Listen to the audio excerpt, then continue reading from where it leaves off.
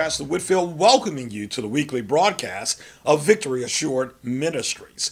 We're going to go right back into the series that we begun a couple of weeks ago, entitled Uncommon Valor and Allegiance.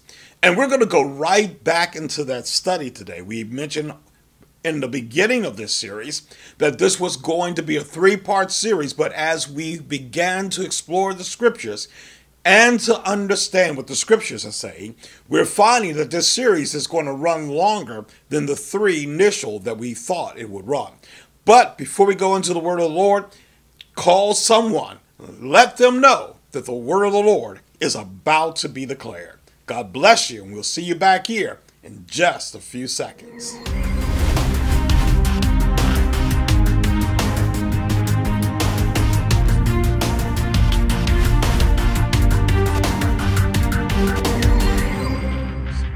Began by looking at the life of David. Last week we looked at the life of Jonathan and how it played into Jonathan loving David. And today we're going to be looking at Saul as a result of the very thing that we saw Jonathan do on last week in scripture. So we have quite a number of scriptures that we're going to be reading uh, or sharing with you. We ask that you have a pen and paper or you can watch this series on demand uh, at, at your leisure. But we're going to talk about Saul today, and we're going to talk about the impact that Jonathan's actions after seeing David's bravery had on the mindset or the psychic of Saul. So we're going to pray and then we're going to go right into the word of the Lord. Father, we thank you in the precious name of our Lord and Savior Jesus Christ, from whom we are so grateful to. Now, Father, as we go into this word, we know that you're wanting to reveal and uncover and disclose to us the very mysteries that are contained within your word. Now, Father, I humbly ask that you send your anointing. Cleanse us from all unrighteousness. And God, anything that would add, enter into our hearing or into our atmosphere that would prevent us from hearing what your word is saying unto us, we ask for the anointing that arrests all things come into play. And God, do what you do best, and that is being God. And God, at the end of the day, we will love you, we will bless you. In Jesus' name we pray. Amen. Amen. When we look at 1 Samuel, the 16th chapter, verses 13 through 14, it reads Then Samuel took the horn of oil and anointed him in the midst of his brethren, talking about David. And the Spirit of the Lord came upon David from that day forward. So Samuel rose up and went to Ramah, but the Spirit of the Lord departed from Saul, and an evil spirit from the Lord troubled him. And in 1 Samuel, the 16th chapter, the same chapter, verses 21 to 23, and David came to Saul and stood before him, and he loved him greatly. He loved him greatly and he became his armor bearer. And Saul sent to Jesse, saying, Let David, I pray thee, stand before me, for he hath found favor in my sight.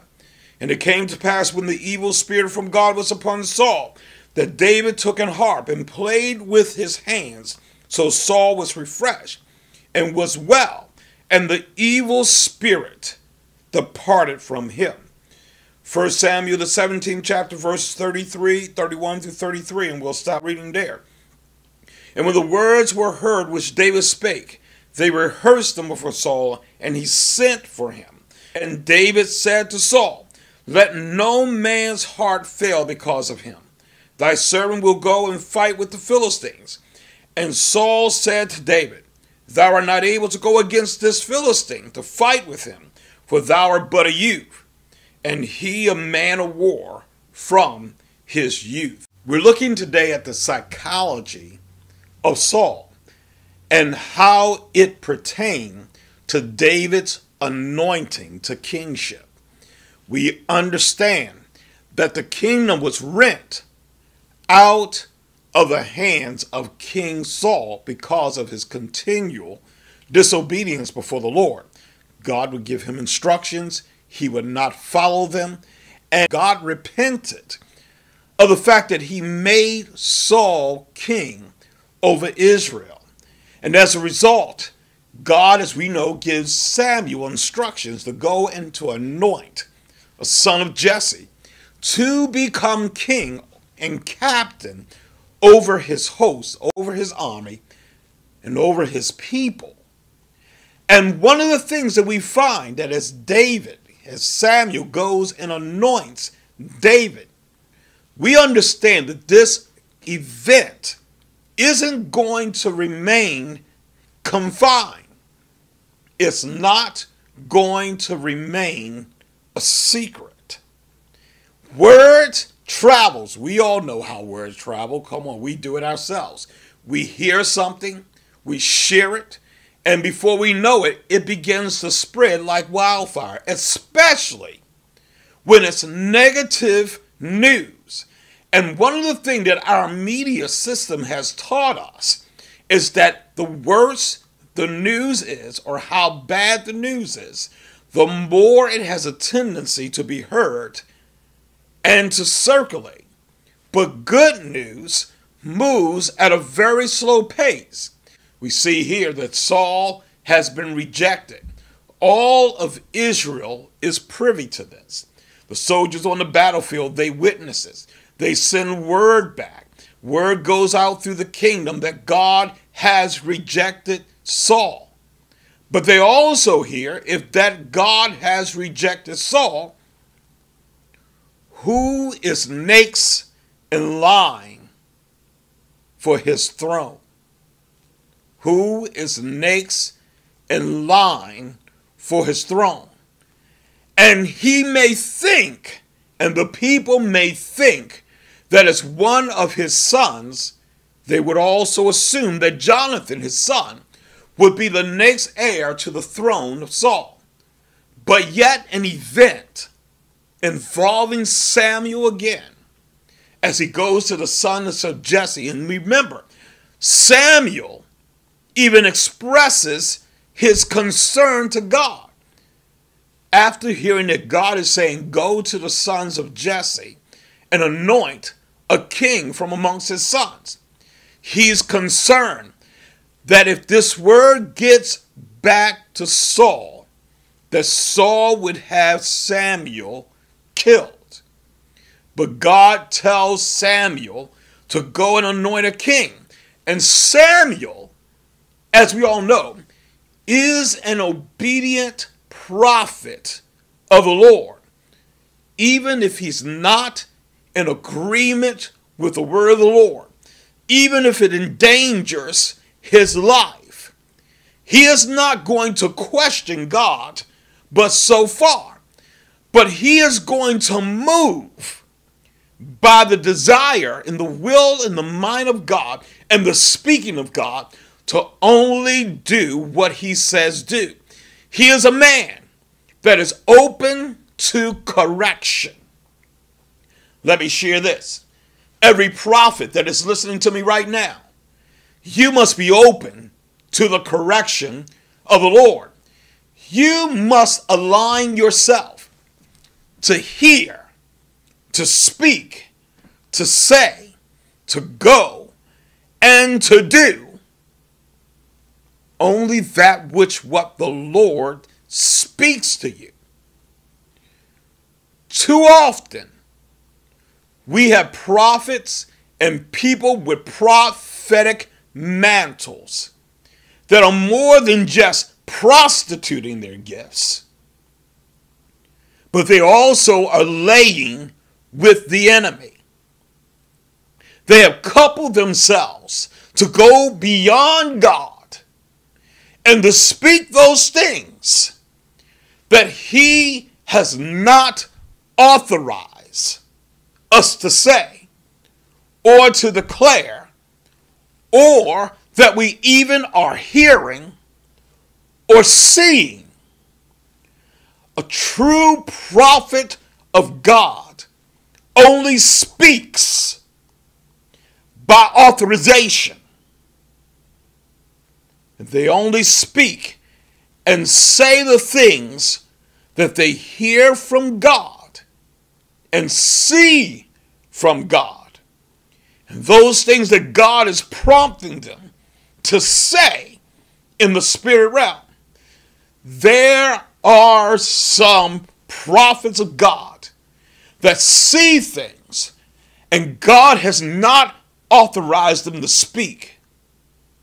They have kept it unto themselves, waiting for the appointed season to be authorized, to be anointed, to be appointed, and to move with precision, to move in the timing of God. And even as they're moving forth, will allow God to speak forth and correct them when they're about to speak or have misspoken. How many times have so many prophets have misspoken, heard the correction of God in the midst of their speaking, in the moment? I'm not talking about afterwards. I'm talking about in the moment. But have refused to go back and make the correction. God honors a person who hears, who obeys, who corrects, and speak forth the thing that God wants. When Samuel saw the anointed of the Lord standing before him, knowing that David was the one that God says he has chosen, then and only then did he release the oil. Then and only then did he release the oil. Just imagine when this is noised abroad that David has been anointed king over Israel. David now comes to the battlefield. Goliath is taunting the armies of Israel. And Saul is failing to move forward, that we talked about on last week. But here, this little shepherd boy speaks about a lion and a bear that he slew, and that even this Philistine will fall at his hands. He goes out and he does exactly what he says he's going to do. Saul sees him, comes back, and he loves David. And the soul of Jonathan, Saul's son, becomes knit to David, even to the point that he takes off his royal robes and his garb, his bolster, his sword, his bow and arrow, and his girdle, and he gives them all to David. Saul now sees his son backing up God's anointed king and vessel. Think about what this does for the mental capacity and the thought processes of Saul. Knowing now that God has anointed David king over Israel. His son takes off all of his royal garments and places upon David, who now acknowledges the will and the mind of God. I imagine that God spoke to Jonathan in a way that he may have known or may not have known. But from this point forward, Jonathan becomes David's ally, an advocate, and protector. And he shares intel from his own father with David about the desires of his own father to kill David before he has an opportunity to even ascend to the throne. So just imagine the mindset of Saul seeing that now this young boy, this young boy, and I want to keep emphasizing it that way, is now positioned to become king over Israel. We've already mentioned that an evil spirit from the Lord came upon Saul as soon as David was anointed king over Israel. Listen, there are some of you that are living under a Saul spirit. Hmm. There are some of you that are living under a Saul's spirit. They have been rejected of the Lord. And God has anointed you in their stead. But they consider you young, not because of your age, because of your unfamiliarity with ministry's protocol. Because you're untrained, you're unlearned, and on the back side of the mountain and in the sheepfold, God's hand was upon you, preparing you.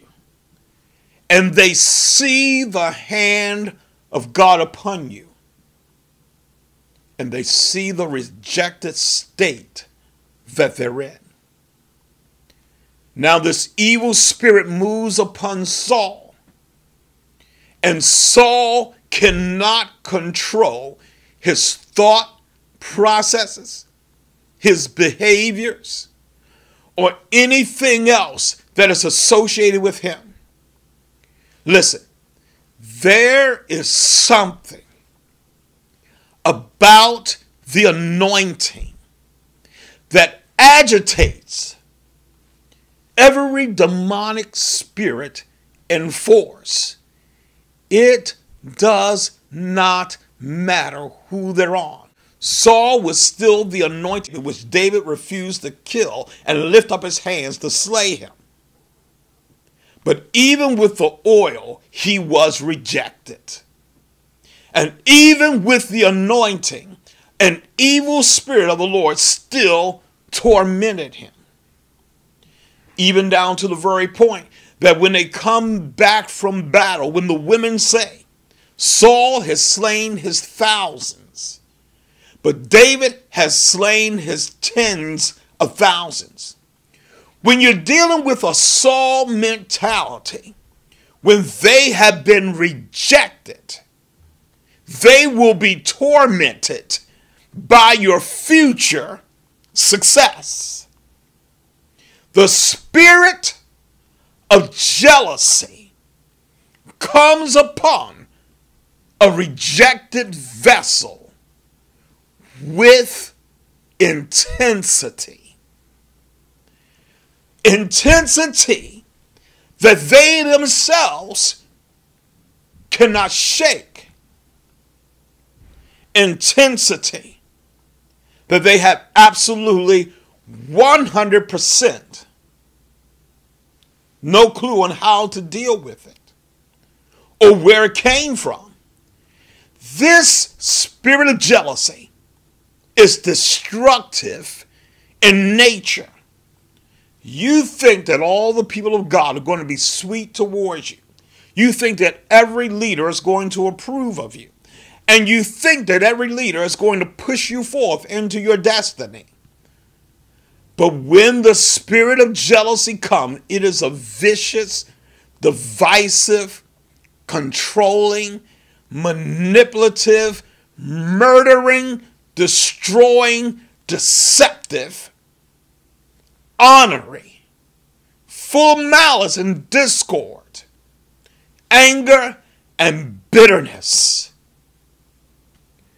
that it will launch a major attack to destroy, misalign, and cripple your character. The whole purpose behind this is to destroy the purpose that God has for your life. They don't want to spend any time with you mentoring you, teaching you, helping you, imparting their knowledge and their wisdom into you because they understand that the imparting of their wisdom and their understanding would take away time from those to whom they believe they should make their impartation into. A rejected leader is blinded to the course that lies before them still. They will not see into your life. They will not sow into your life. They will use you for the things that they wish to accomplish, and they will look on you as though they were doing you a favor when they endanger your future maliciously. The spirit of Saul is not a mindset and a spirit that we want to gravitate towards. It is solely bent on following the desire of the evil nature and the mindset of everything that opposes godliness in you. And it will set itself up and align itself with others that whom they know they have the power to influence against you. And they will work every single angle as best as they possibly can until they have succeeded. Even understand the mindset of someone who is close to them that does not promote their thinking, their desire, and their will. They will even seek to destroy them. And although that person may, may remain loyal to them, a husband, a wife, a son, a daughter, a leader in ministry that's been walking by their sides, when they refuse to play their game, they themselves will be ostracized. They will be criticized. They will be put out of those secret gatherings and those secret meetings because they don't want the plot and the scheme to be realized. But listen, everyone that has been dealing with the spirit of Saul, God says, the oil of the anointing is upon you to protect you from this mindset. God has arisen or caused to arise a Jonathan that is connected to a Saul who is not selfish in their thinking, but has the mindset, as we talked about on last week, the mindset of the kingdom. The mindset of the kingdom. The kingdom of Jesus Christ. This particular individual knows how to maneuver with a Saul spirit. They know how to take the information and know how to translate it into understanding. Oh, the spirit of jealousy has come because they see where they've been rejected and they're not ignorant to the fact because they have been anointed. They recognize the anointed of God. When people are jealous, it's not because they don't see who you are. They see who you are. but they want to destroy who they see. Lift up your heads, O ye gates, and be lifted up, ye everlasting doors, and the King of glory shall come in. The Bible says this very clearly that thou shalt not die, but shall surely live and declare the works of the Lord. Because God's, say that again, because God's anointing is upon you, the spirit of Saul will not prevail.